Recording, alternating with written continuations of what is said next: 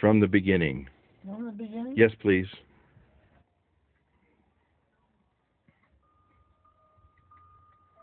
Dearest Ruth, may your day be filled with beauty, love, and kindness just like you.